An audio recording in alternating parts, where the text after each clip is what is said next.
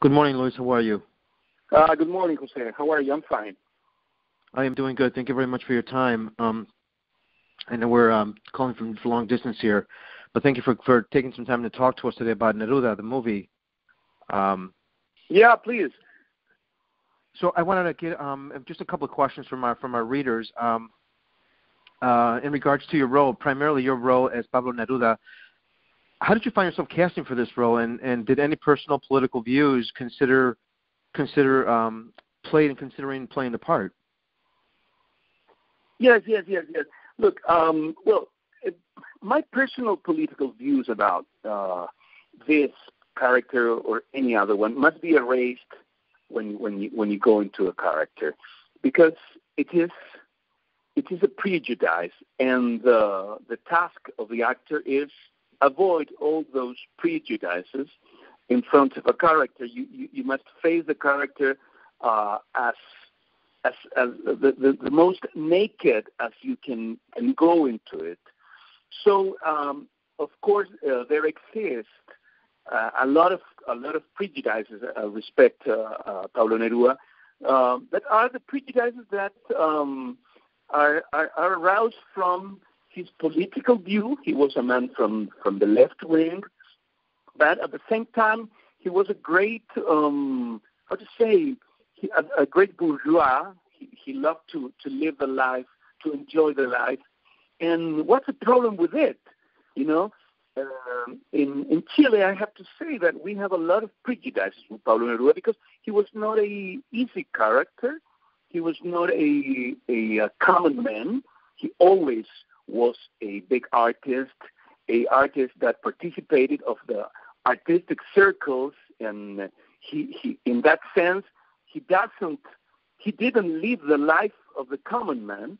He always lived the life of of the great artists he always lived the life of the great uh, politicians and of the great um, men of diplomacy. You, you, have to know that he, at, at, at the time the, this movie presents Pablo Neruda, he had been a great diplomat in, in, in Chile and in, in out out of Chile. You know, so there's a lot of prejudices with a character like this, and um, those prejudices come in, in good part from the the conservative part of the society, which uh, uh, they don't allow uh, a, a, man like Pablo Neruda uh, have many faces.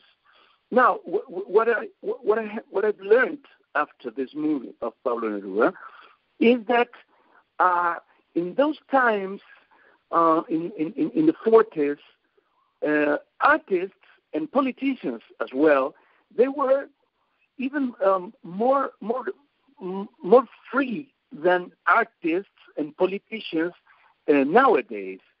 Uh, Pablo Neruda was so close to people from the surrealism, from the surrealistic movement. I mean, uh, Aragon uh, and other uh, Dali and, and other Pablo Picasso and other surrealistic painters and artists, and he was at the same time a very serious communist member, uh, a communist uh, member of the uh, uh serious uh, member of the Communist Party. He was a senator of the Communist mm-hmm. Party, and he was serious in both tasks. He was, he was serious being an artist and being a politician. And and if you see uh, today, we we need more certainties than the certainties people need in the 40s. even artists, artists many times uh, we need, uh, or, or, I don't know why, artists uh, today they're they're serious people.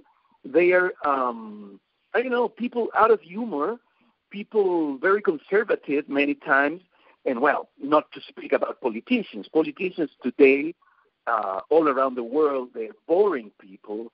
They're people mm-hmm. without any any any um, any profound vision of the things.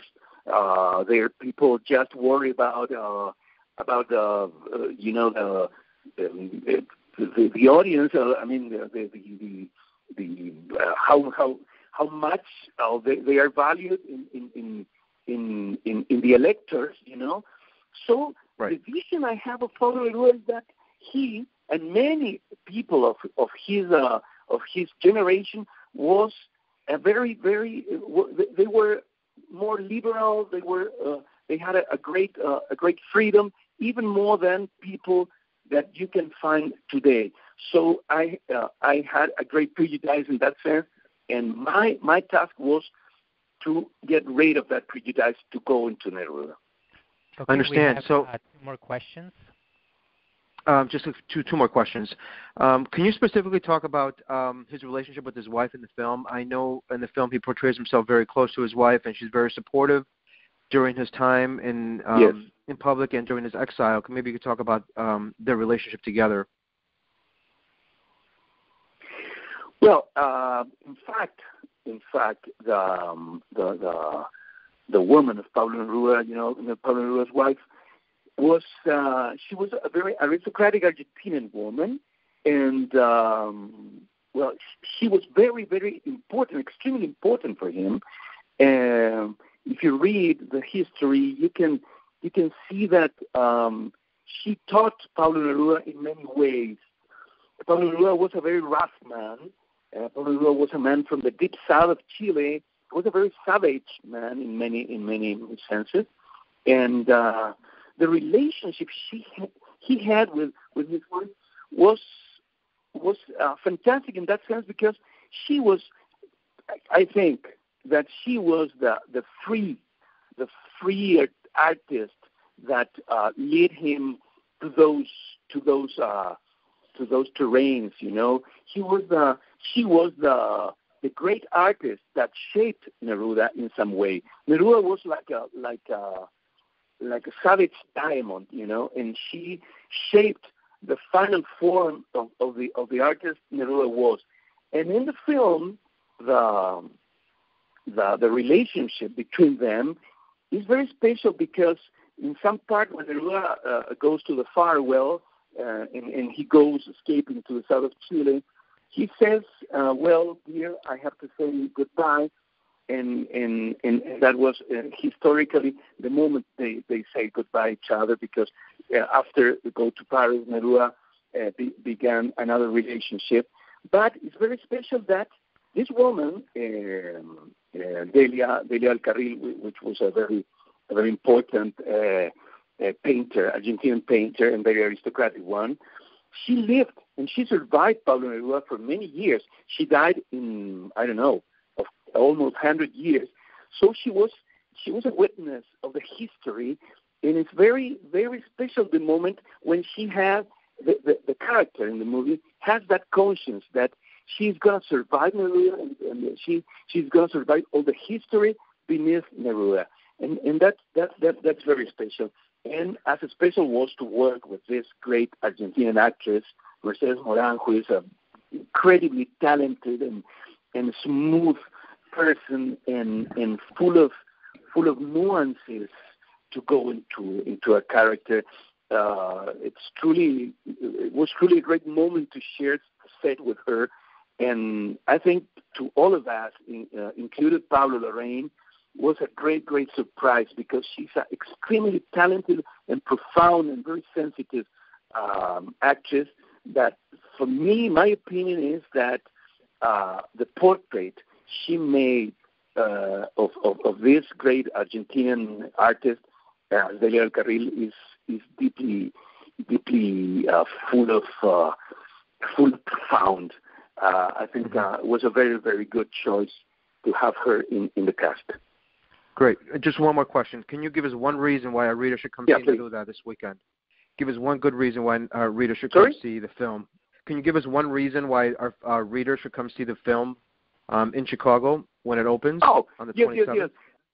Yeah, I think um, yeah, I think a good reason to go to this to this uh, to to go to to see this film is because it's not a common biopic. I think I think uh, really Pablo Neruda is kind of reinventing the genre, uh, the biopic genre, um, because uh, he takes a historical character as Pablo Neruda, and not only he not only speaks about the the the character, he speaks about the time, he speaks about any other subjects, many many other issues, and uh, I think you you you go to see a movie which is the celebration of the art, the celebration of the, of the creative power of a, of a, of an artist, and this could be uh, shown with Pablo Neruda or, or another artist.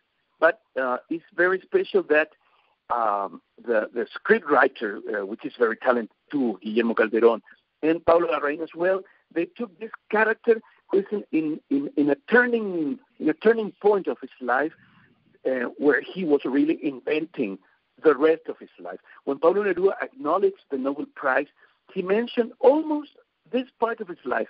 Almost he he all, all, all the speech he gave in front of the king of Sweden uh, is about this part of his life that he said shaped him as an artist, shaped him as a man. And then he says, I don't know if I wrote this, if I invented this, if I dreamt this. So we are in front of um, of a very clue moment of an artist, and and we assist if, if, if we, we, we go to to a movie which is as as I say reinventing reinventing the biography, reinventing the the way to present the life of a great character as this Chilean artist.